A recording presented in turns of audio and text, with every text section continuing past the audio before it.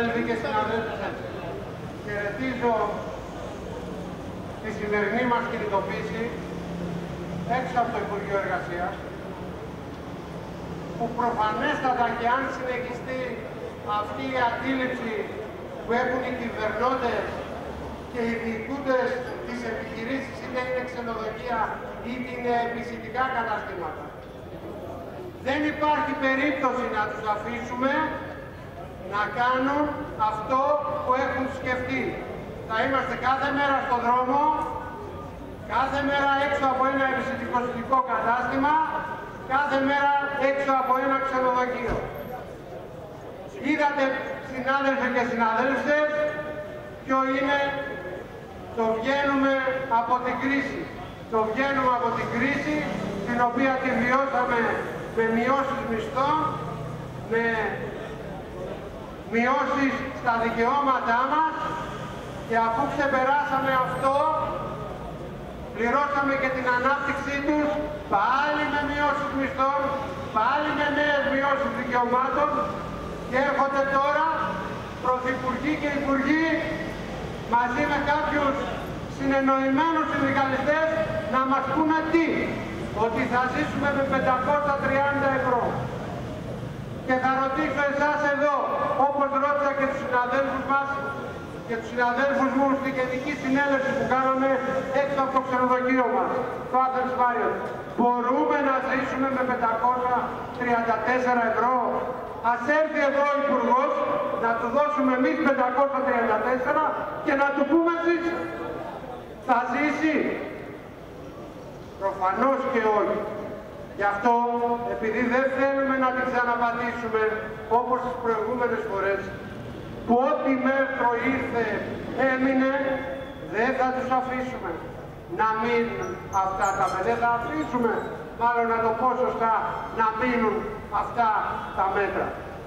Ούτε θα αφήσουμε σε κανένα χώρο δουλειάς, κανένας εργοδότης να εφαρμόσει αυτό που λέγεται είτε καινούριος νόμος, είτε αυτές οι πράξεις νομοθετικού περιεχομένου που μας έφεραν τα 534 ευρώ, μας έφεραν τη συνέχεια της ανεργίας στους άνεργους, γιατί οι πληροφορίες μας λένε ότι κανένας ξενοδόχος, είτε αυτός λέγεται το δεκάμινης διάρκειας, είτε αυτός λέγεται εποχιακό, δεν θέλει να ανοίξει το ξενοδοχείο του, παρότι του έχουν δώσει και δάνεια, του έχουν δώσει και φοροελαφρύνσεις, του έχουν δώσει και του έχουν προσφέρει μέχρι και τον Ιούνιο να μην πληρώνει ασφαλιστικές φορές. Νομίζω από αυτά που σας είπα καταλάβατε και καταλάβατε επίσης τι πρέπει να κάνουμε. Επίσης πιστεύω ότι και αυτοί εδώ από πάνω κατάλαβαν ότι εμείς δεν μπορούμε να ζήσουμε ούτε με 534 ούτε με 400 ευρώ. Ευχαριστούμε και εμείς αυτή την πρώτη απάντηση στα μέτρα που η κυβέρνηση έχει πάρει εναντίον μας, δίνοντας, μοιράζοντας δισεκατομμύρια παντολό χρημάτων στη μεγάλη εργοδοσία, με δωρεάν εργασία και ρίχνοντας την πλάτη των εργαζομένων τα βάρη για να πληρώσουν και αυτή την κρίση και ασφαλίζοντας τα κέρδη του μεγάλου κεφαλαίου στο αγέραιο και νομοθετώντας και αυτοί και οι προηγούμενες κυβερνήσεις νόμους μόνο αυτό διασφαλίζουν. Όταν εμείς καλούμαστε λοιπόν να πληρώνουμε φόρους μέχρι τελευταία δραχμή η προηγούμενη κυβέρνηση ΣΥΡΙΖΑ ψήφισε νομοσχέδιο στο οποίο οι υποκλειστές μπορούν να πληρώνουν φόρους εθελοντικά. Αν δηλαδή θέλουν. Εμείς λοιπόν λέμε δεν πρόκειται να βάλουμε πλάτη σε αυτή τους την κρίση. Ερετήσουμε ξανά αυτή την πρώτη συγκέντρωση έξω από το Υπουργείο Εργασίας και σας καλούμε στη δεύτερη, αύριο, 23 του μηνός στις 6 ώρα το απόγευμα, στα δυτικά στο Περιστέρι, στην πλατεία Δημαρχείου, θα διαδρανώσουμε με κεντρικό σύνθημα, στο κεντρικό σύνθημά μας, κανείς εργαζόμενος χωρίς εισόδημα. Κανένας εργαζόμενος που να μην μπορεί να ζήσει, να πληρώσουν τώρα την κρίση τους, το κράτος και η εργοδοσία. Ευχαριστώ πολύ. Εμείς οι εποχικά εργαζόμενοι, που οι περισσότεροι δουλεύουμε, τέσσερι, δουλεύαμε τέσσερις μήνες και κάποιοι υψηλόβαθμοι, υψηλόμισθοι μάλλον, που έπαιρναν, οι λίγοι υψηλόμισθοι που έπαιρναν τα 1000 ευρώ το μήνα, έπρεπε να την βγάλουν 4.000 συν 3 μήνες το επίδομα ανεργίας με 5.206 μαζί με το, με τα δώρα. Και έπρεπε να λέμε και ευχαριστώ.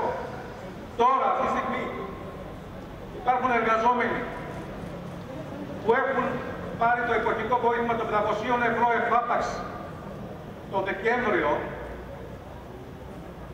δεν έχουν πάρει κανένα βοήθημα. Οι επιχειρήσεις παίρνουν το μερίδιο του λέοντος στις επιδοτήσεις από τα χρήματα των εργαζομένων. Οι εργαζόμενοι είναι αυτοί που πληρώνουν το, το μερίδιο του λέοντος στην εφορία, 90-95% στο κράτος.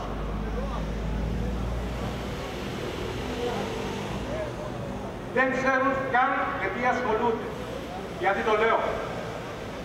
Το εποχικό βοήθημα δεν μπορούν να το ξεχωρίσουν με το επίδομα της τακτικής ανεργίας.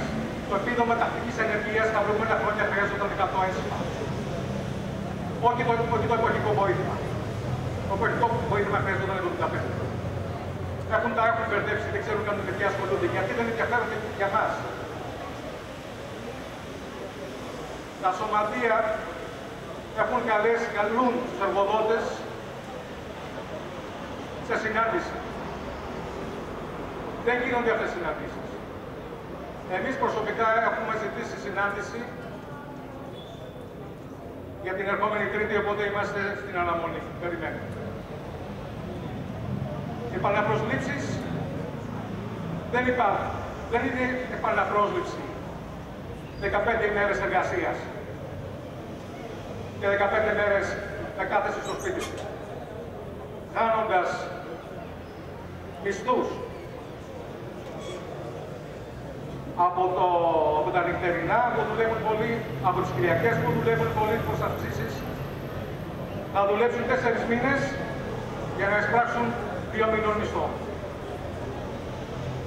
Τι θα γίνει τον επόμενο χειμώνα, τι γίνεται ο κόσμος που, που έχει να πληρώσει νίκια, που ήδη χρωστάει τα νίκια του, τη ΔΕΗ του, την εφορία του; Δεν ενδιαφέρεται. Αυτή είναι η πολιτική της κυβέρνησης.